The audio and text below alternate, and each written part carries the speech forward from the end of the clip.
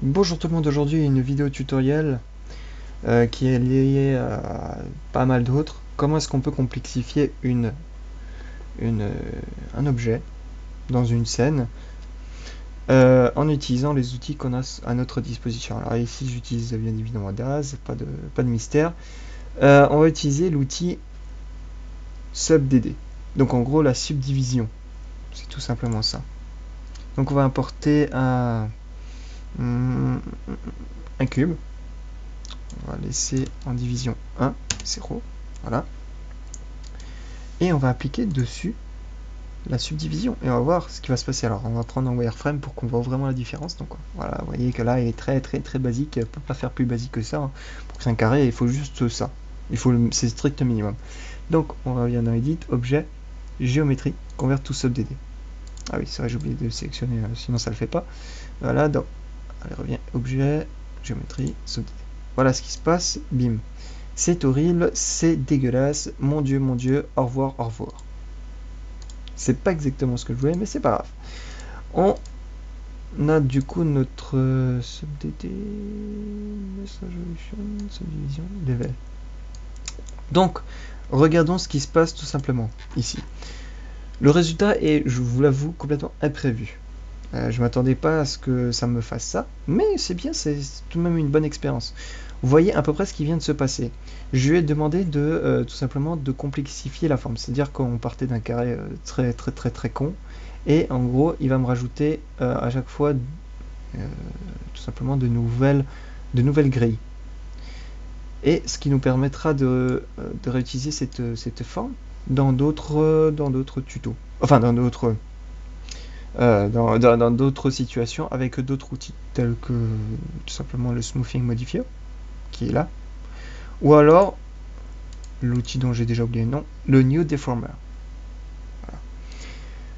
Nous avons d'autres choses à savoir donc nous avons résolution ou basse. Bah, par défaut va laisser sur bas, high voilà, hein. on va pas se faire chier hein. on va pas utiliser pour rien. Donc nous avons d'autres divisions d'autres algorithmes, donc bilinéaires, vous pouvez tester. voyez Hop, on a de nouveau notre beau carré et celui-ci euh, respecte sa forme initiale. Et ça, c'est cool. Nous avons ensuite le loop. Alors, voyons voir ce qu'il nous donne, le loop. Le loop nous donne une forme... Euh, c'est un mix entre un carré et un rond, parce que c'est pas parfaitement une boule, mais c'est pas un carré non plus. Je dirais plutôt une sorte de, de, losange. une forme euh, extrêmement complexe. Et nous avons le 4 moule Clark euh, Legacy. On dirait euh, le 4 mark. Euh, non, quoique le, Legacy est légèrement bombé. voilà, ça fait des petites bulles tout en laissant, croire que c'est rond. Là, c'est plus rond qu'autre chose. Ensuite, nous avons les coins. Comment est-ce que les coins vont différencier Nous avons le Sharp Edge, Corner, Sharp Edge. Donc là, je vois qu'il n'y a pas vraiment de différence. On va essayer de en bilinéaire pour voir s'il y a une différence. Alors, je, vous le dis tout de suite, hein, ça, a un impact euh, très important, là, cette histoire de, de, de coins. Comment est-ce qu'ils sont euh, alors, interpolation, ne me demandez pas exactement des détails, testez, regardez et voyez voir les résultats. Donc vous voyez, ça nous donne, euh, comme moi-même j'ai été surpris, ça nous donne toujours des trucs intéressants, mais on peut toujours retomber sur ses pattes, comme quoi là j'ai de nouveau le carré que je cherchais. quoi. Voilà, donc c'était ça le résultat attendu, et, vous voyez que le grillage s'est complexifié, mais à mort. C'est-à-dire je suis parti d'une euh, forme très basique, et j'ai réussi à la complexifier. Pourquoi je vous montre ce tuto? Parce que nous avons, euh, vous pouvez télécharger sur Daz, euh, vous savez, des, objets. Et certains objets ne sont pas très très très complexes. Et il n'y a rien de plus agaçant de vouloir d'imaginer toute une scène, de la poser et se rendre compte au final que l'objet a quatre, quatre lignes très basiques.